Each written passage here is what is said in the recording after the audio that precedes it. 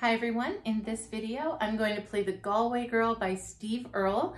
So there's a little bit of an intro, a little bit of the vocal part, and of course the fiddle part. So all you need is a band. One,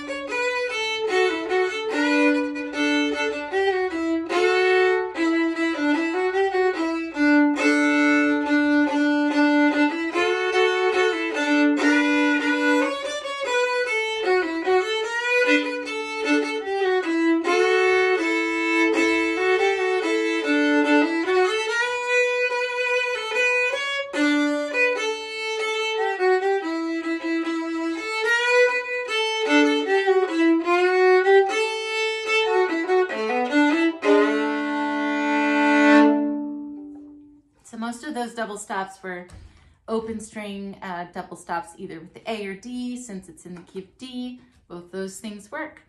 All right, we'll see you in the next video.